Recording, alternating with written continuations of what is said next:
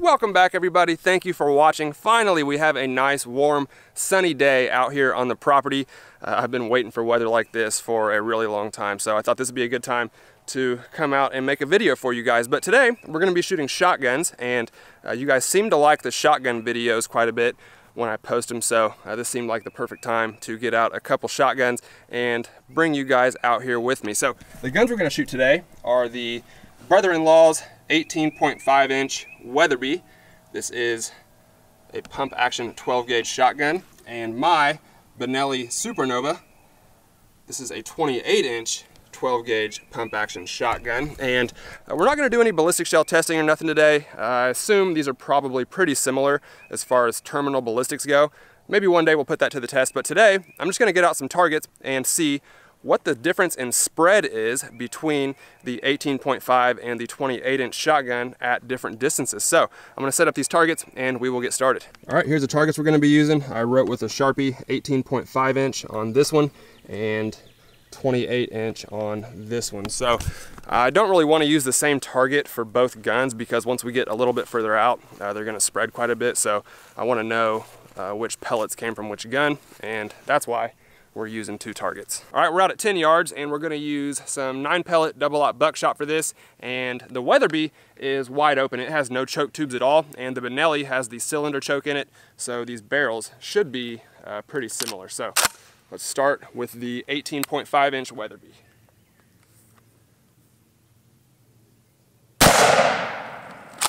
And here's our 10 yard group from the 18.5 inch. It looks like most of those pellets are all within this gray circle here. Uh, this is from the wad. There's no hole going through the wood, so that's not a pellet.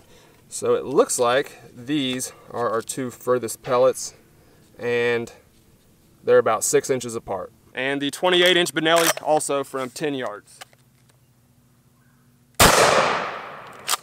So the wad is all the way over here on the other target but the shot group itself is much tighter than from our 18 inch gun. So it looks like our two furthest pellets from the Benelli are about four and a half inches apart. So actually more of a difference than I expected. Let's move it back a little further. All right, now we're back at 20 yards. Once again, starting with the 18 inch Weatherby.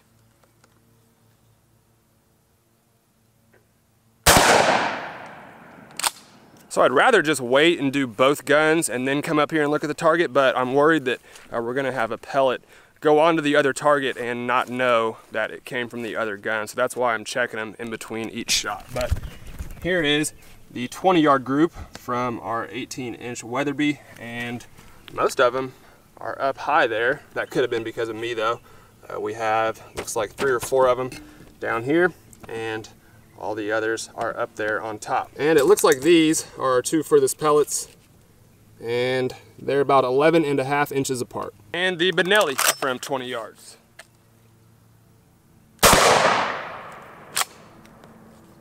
So this group is also really high. I'm gonna start aiming a little lower and I'm gonna tape up all these holes before we leave. But uh, this is a little bit different than we had at 10 yards.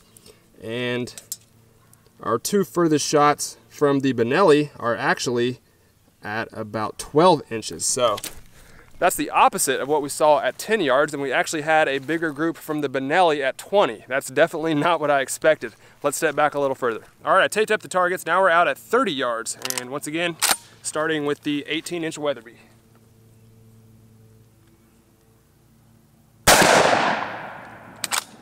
So I was a little worried that we were gonna have some fly over the top, but it looks like we got all nine pellets on the paper. And this is a new hole right here. It went straight through the piece of tape that I had on there. So it looks like this one and this one are the two furthest apart. And that is a 15 and a half inch gap between those two pellets. All right, let's try the Benelli at 30 yards. I'm actually gonna aim towards the middle of this target so that I don't lose any off the top of the paper. I think I got lucky last time.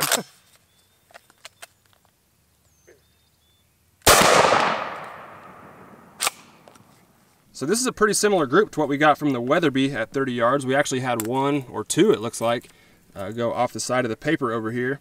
And I think this one and that one are the two furthest apart. So that is also about a 15 and a half inch gap between those two pellets. So uh, basically identical to what we got from the 18 and a half inch gun at 30 yards. So I'm gonna step out to 40 yards and this will probably be the last stop because uh, we're gonna start getting groups so big that they're definitely gonna fly off the paper. So let's do one more and see how these groups look. All right, now we're out at 40 yards and like I said, this will probably be the last stop because we're definitely gonna start losing pellets uh, out this far. So I taped up every single hole on the target so we shouldn't miss any. Once again, starting with the 18 and a half inch Weatherby.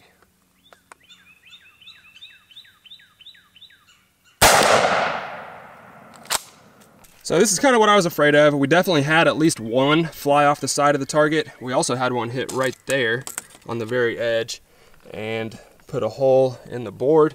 And we actually had one hit all the way down here. And you can see it went through that piece of tape that I had on there. So I know that that's a brand new hole. And we have one way up here too. So it looks like those are the two furthest apart.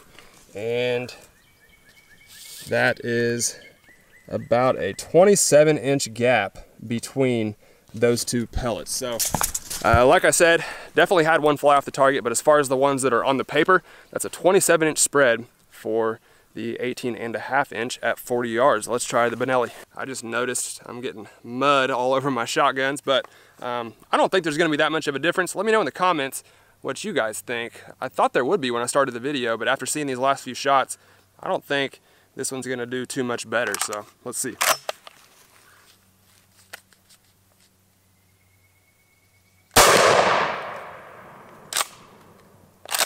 Oh, I love that smell. I don't know what it is, but it seems like shotguns, the gunpowder smells better to me for some reason.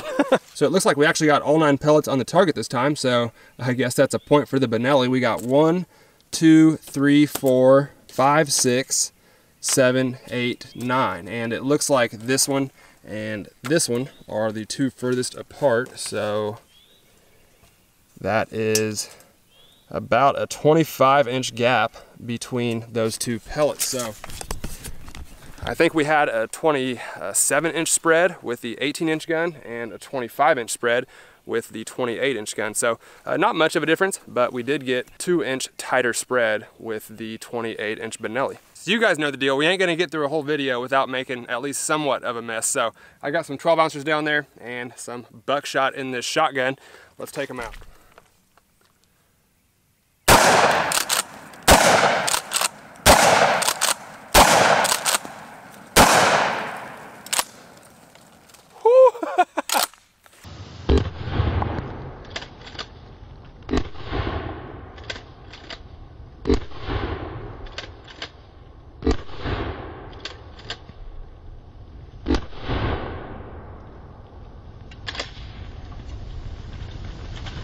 Well, that's going to do it for me today, guys. Thank you all for watching. I hope you enjoyed this video. Um, I'm actually am a little surprised by this. I thought we would get much tighter groups with the 28-inch uh, gun. I knew once you get out past, you know, 30 or 40 yards that it all kind of goes out the window, but um, really at 10 yards is the only place that we saw a significant uh, difference with the 28 inch gun and it was back and forth for the rest of the video so like I said kind of interesting maybe not so much to some of you guys I'm sure a lot of you have done similar experiments on your own time, but uh, yeah, kind of surprised me a little bit. So I hope that you guys enjoyed the video. I hope you maybe learned something today. If you did like this video, please give it a thumbs up for me. Thank you all for watching, and I'll see you next time.